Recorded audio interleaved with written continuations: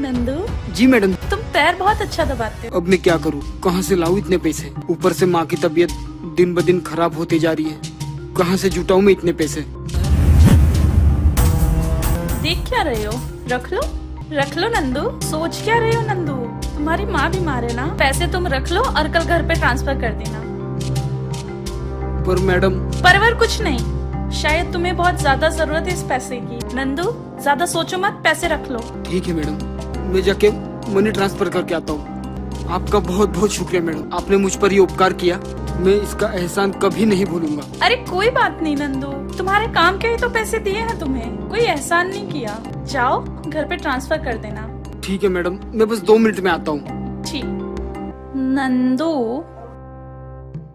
सबका बंधु।